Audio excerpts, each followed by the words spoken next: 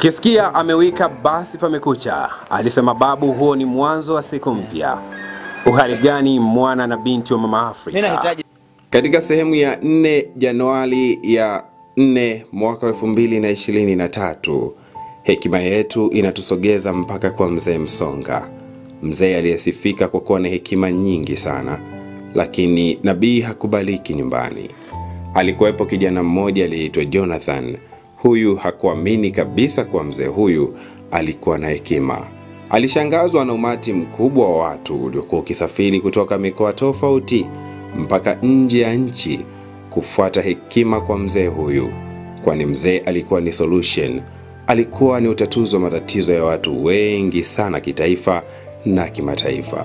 Kijana huyu alijiuliza ni kitu gani hasa watu wanachokifuata kwa huyu mzee, mzee ambaye hali yake ya maisha ni duni, hali yake ya maisha ni ya kifukara, lakini alikuwa na kinywa kilichojaa hekima. Kijana huyu alibaki kushangazwa kila siku. Nabii hakubaliki nyumbani. Siku moja bwana Jonathan akaamua kufanya mtego amjaribu mzee huyu. Jonathan akasema, nitawachukua ndege wawili, ndege hawa nitaweka katika viganja vyangu, nitakapofika kwa mzee nitamfanyia jambo. Basi akaondoka akaingia polini na kuwatega ndege kwa njia ya utando au ulimbo. Alipowakamata ndege wale, akanyosha moja kwa moja kwa mzee yule. Alipofika kwa mzee akamsalimu sana, na kwa kebei akawa akimuuliza, nasikia wewe ndio mzee mwenye hekima zaidi. Watu husafiri mikoa na mikoa, nchi kwa nchi kuifuata hekima yako. Leo hii nitakwenda kukuonesha mzee kuwa huna hekima. Mzee yule akasema, una nini cha kuniambia? Basi bwana Jonathan akawachukua wale ndege wawili, mmoja kushoto, mwingine kulia, akailaza migono yake chini, akamuuliza mzee, unaweza kuniambia ni ndege yupi mzima au ndege hawa ni wazima au wamekufa? Kisha moyoni mwake akajisemea akisema, wamekufa, mimi nitawa, hawa ndege wakiwa hai. Akisema ni wazima, mimi nitawaminya katika viganja vyangu na ndege hawa watakuwa wamekufa. Alipomaliza kufikiria mawazo hayo, aliyozani kuwa ni mawazo nyeti na yenye akili zaidi, ambayo yatamthibitishia mzee huyu kuwa hana hekima, akamaliza kisha akamwambia mzee huyo, je, katika mikono yangu nimeshika ndege wazima au wamekufa? Na kwa kila jibu atakalojibu mzee huyu, basi lazima ingelikuwa tofauti.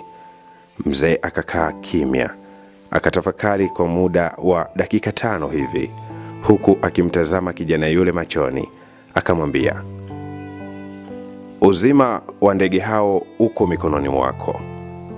Swala la kufa au kuishi ni maamuzi yako.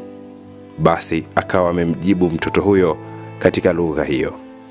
Bwana yule alistaajabu sana. Kutoka hapo alimheshimu mzee huyu na akampa heshima kubwa sana, akaamini kuwa ni mzee mwenye hekima zaidi na zaidi. Siku zote nabii huwa ni ngumu kukubalika nyumbani. Ni watu wangapi katika jamii yako umewapuuza kwa kujua tu kwamba si watu muhimu, aidha kwa sababu umezoeana nao kimazingira au kwa sababu unaona mara kwa mara. Umewahi kutenga muda kuwapa nafasi katika maisha yako, wakafanya jambo, huenda kuna na huenda una jambo gumu unaolipitia na kupitia wao ungepata msaada. Mungu afungue moyo wako, utazame mbali. Hivi leo tunasafiri mbali kuzitazama hekima za wale ambao tunaamini wanazo, lakini kwa bahati mbaya hali zao duni za maisha zimesababisha hekima yao kufichwa chini kabisa. Karibu katika Amka na Busokero TV. Jumatano